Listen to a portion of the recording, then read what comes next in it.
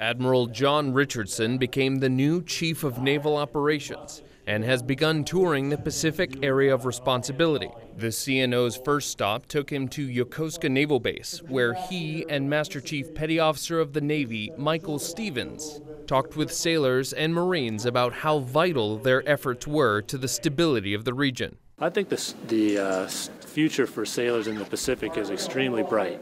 Uh, it's a, an exciting time to be here. It is the focus of our rebalance, and so as world economies change and grow, you know, that's happening more here in the Pacific than anywhere else. There's just, you know, a tremendous amount of excitement here for uh, Pacific operations. Before they left Yokosuka, MCPON and the new CNO gave even more of their time to actually show Yokosuka the value of their work Petty Officer Kirk Putnam, Yokosuka Naval Base, Japan.